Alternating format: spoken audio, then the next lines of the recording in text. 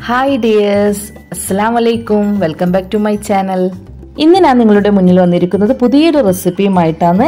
Restaurant style chilli chicken എങ്ങനെ ഉണ്ടാക്കാൻ പോകുന്നത് എന്ന് നമുക്ക് നോക്കാം. അതിനു മുൻപായി എന്റെ ചാനൽ ഇതുവരെ സബ്സ്ക്രൈബ് ചെയ്യാത്തവർ ഒന്ന് സബ്സ്ക്രൈബ് ചെയ്ത് തൊട്ടടുത്തുള്ള ബെൽ ബട്ടൺ ഒന്ന് പ്രസ് ചെയ്ത് ഓൾ എന്ന ഓപ്ഷൻ കൊടുക്കണേ. എന്നാൽ മാത്രമേ എന്റെ പുതിയ പുതിയ വീഡിയോസ് ഇടുമ്പോൾ നോട്ടിഫിക്കേഷനായി നിങ്ങൾക്ക് കിട്ടുകയുള്ളൂ. ഇതുവരെ എന്റെ വീഡിയോ കണ്ട് സപ്പോർട്ട് ചെയ്ത എല്ലാവർക്കും ഒരുപാട് താങ്ക്സ്. ഇനി നമുക്ക് ചില്ലി ചിക്കൻ എങ്ങനെയാണ് ഉണ്ടാക്കുന്നത് എന്നുള്ളത് നോക്കാം. ഒരു കിലോ ചിക്കനാണ് ഞാൻ ഇന്നിവിടെ എടുത്തിരിക്കുന്നത്. സ്മോൾ പീസുകളാക്കി കഴുകി വൃത്തിയാക്കി വെച്ചതാണിത്. ഒരു ടേബിൾ സ്പൂൺ ഇഞ്ചി വെളുത്തുള്ളി പേസ്റ്റും ഒരു ടേബിൾ സ്പൂൺ കുരുമുളകും ആവശ്യത്തിന് ഉപ്പും ഒരു ടേബിൾ സ്പൂൺ വിനാഗിരിയും ഒരു മുട്ടയും ഇട്ട് നന്നായി ചിക്കൻ മിക്സ് ചെയ്ത് വെക്കുക.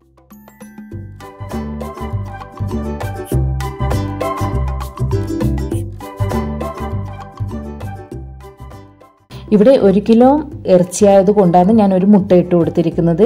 രണ്ട് കിലോനും മൂന്ന് കിലോനെല്ലാം ആകുമ്പോൾ അതിന് കണക്കായിട്ട് മുട്ട ആഡ് ചെയ്ത് കൊടുക്കണം.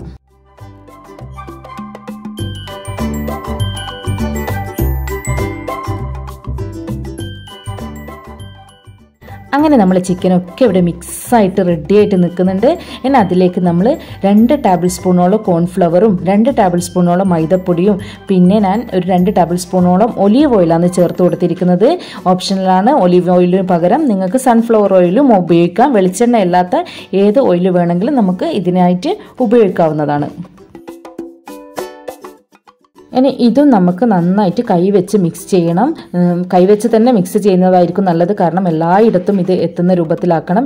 ഇനി ഇത് നമുക്ക് ഒരു മണിക്കൂറെങ്കിലും റെസ്റ്റിന് വെക്കണം. ഇവിടെ ഞാൻ രണ്ട് വലിയ ഉള്ളിയാണ് എടുത്തിരിക്കുന്നത്. സ്ക്വയർ പീസുകളാക്കിയിട്ട് മുറിച്ച് വെച്ചിട്ടുണ്ട്. പിന്നെ സ്പ്രിംഗ് ഓണിയനും പിന്നെ ഒരു ക്യാപ്സിക്കോമാണ് ഞാനിവിടെ എടുത്തിരിക്കുന്നത്. ഇനി നമുക്ക് ആവശ്യമുള്ളത് ഒരു ടേബിൾ സ്പൂണ് വെളുത്തുള്ളിയും ഒരു ടേബിൾ സ്പൂണ് ഇഞ്ചിയും ഒരു ടേബിൾ സ്പൂണ് പച്ചമുളകും പിന്നെ സ്പ്രിംഗ് ഓണിയന്റെ അടിയിലത്തെ വൈറ്റ് ഭാഗവുമാണ് ഞാനിവിടെ കട്ട് ചെയ്ത് വെച്ചിരിക്കുന്നത്. ഇഞ്ചിയും വെളുത്തുള്ളിയൊക്കെ സ്ക്വയർ പീസുകളാക്കിയിട്ടാണ് ഞാനിവിടെ കട്ട് ചെയ്ത് വെച്ചിരിക്കുന്നത്.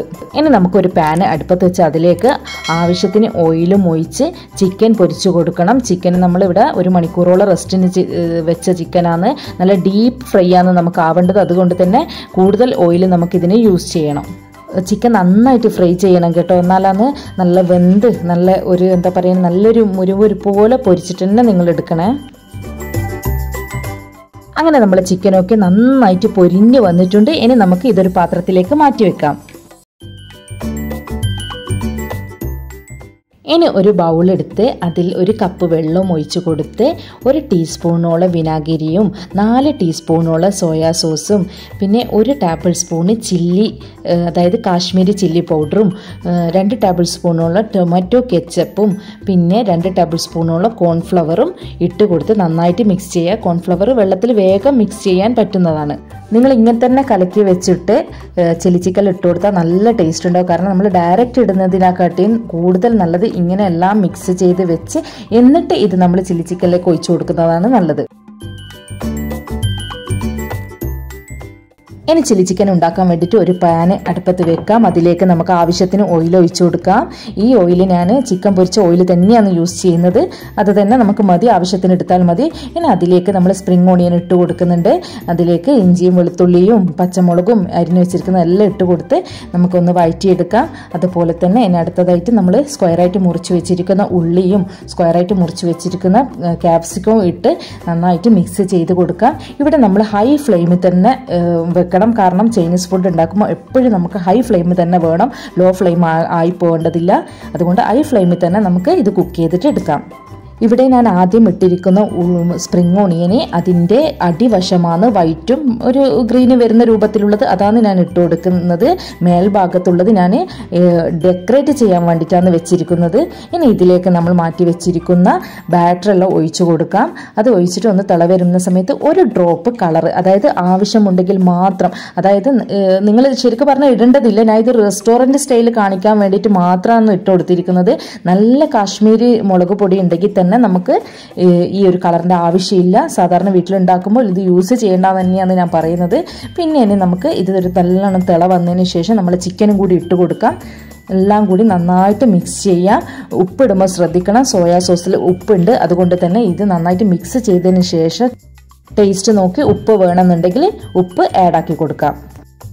അങ്ങനെ നമ്മളെ ചില്ലി ചിക്കനൊക്കെ ഇവിടെ നല്ല തിള വന്ന് കഴിഞ്ഞിട്ടുണ്ട്. അതിലേക്ക് ഞാൻ കുറച്ചും കൂടി ഉപ്പ് ആഡാക്കി കൊടുക്കുന്നുണ്ട്. ഉപ്പിന്റെ ചെറിയൊരു കുറവുണ്ടായിരുന്നു. അതുപോലെ തന്നെ ഒരു ടേബിൾ സ്പൂണോളം പെപ്പർ പൗഡറും പിന്നെ ഇതിന്റെ ഹൈലൈറ്റായ ഒരു ടേബിൾ സ്പൂണോളം പഞ്ചസാര. ഇത് എന്തായാലും നിങ്ങൾ ചേർത്ത് കൊടുക്കണം. മധുർക്കൊന്നുമില്ല ഇത് ടേസ്റ്റ് ബാലൻസ് ചെയ്യാൻ വേണ്ടിയിട്ടാണ്. ഇത് നല്ലൊരു രസം ഉണ്ടാവും. ഇത് ഇട്ട് കൊടുത്തതിനാൽ ആരും മറക്കാതെ ഇതൊന്ന് ചെയ്യണം. എന്നിട്ട് നന്നായിട്ടൊന്ന് മിക്സ് ചെയ്ത് കൊടുക്കാം. തിള വന്നു കഴിഞ്ഞാൽ നമുക്കിത് നമ്മൾ ചില്ലി ചിക്കൻ ഇവിടെ റെഡിയായി കഴിഞ്ഞിട്ടുണ്ട്. ഇനി ഇതിലേക്ക് നമ്മൾ സ്പ്രിങ് ഓണിയൻ നമ്മൾ ഗാർണിഷ് ചെയ്യാൻ വേണ്ടിയിട്ട് മാറ്റി വെച്ചിരിക്കുന്ന സ്പ്രിങ് ഓണിയനും കൂടി ഇട്ട് കൊടുക്കുന്നുണ്ട്. അങ്ങനെ എല്ലാം കൂടി ഒന്ന് മിക്സ് ചെയ്ത് നല്ലൊരു സ്മെല്ലൊക്കെ വരുന്നുണ്ട്. അടിപൊളി റെസ്റ്റോറന്റ് സ്റ്റൈൽ ചില്ലി ചിക്കനാണ് നിങ്ങളെല്ലാവരും ട്രൈ ചെയ്ത് നോക്കണം. അതുപോലെ തന്നെ എന്റെ ചാനൽ സബ്സ്ക്രൈബ് ചെയ്യാത്തവരൊന്ന് സബ്സ്ക്രൈബ് ചെയ്യുകയും ലൈക്ക് ചെയ്യുകയും കമന്റ് ചെയ്യുകയും ഒക്കെ ചെയ്തൊന്ന് സപ്പോർട്ട് ചെയ്യണേ. വീണ്ടും ഒരു പുതിയൊരു റെസിപ്പിയുമായി വരുന്നത് വരെ എല്ലാവരോടും thank for watching my video